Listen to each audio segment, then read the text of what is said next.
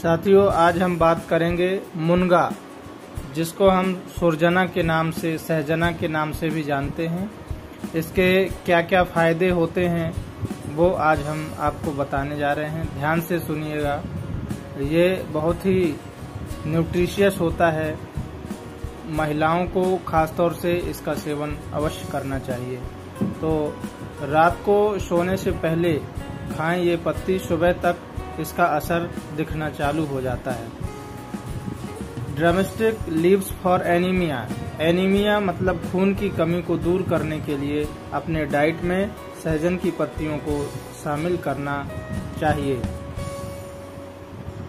और drumstick leaves for immune system सहजन की पत्तियों का लगातार सेवन इम्यून सिस्टम को मज़बूत करता है।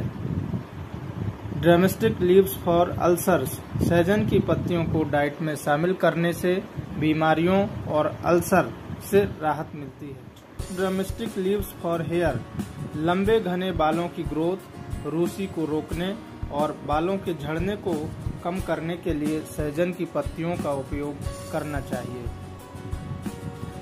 Drumstick leaves for weight loss सहजन की पत्तियों को काढ़े के रूप में डाइट में शामिल करने से वज़न घटाने में मदद मिलती है। ड्रामेस्टिक लीव्स फॉर मेन सहजन पुरुषों के लिए बहुत फ़ायदेमंद है। यह यौन शक्ति और काम इच्छा को बढ़ाता है।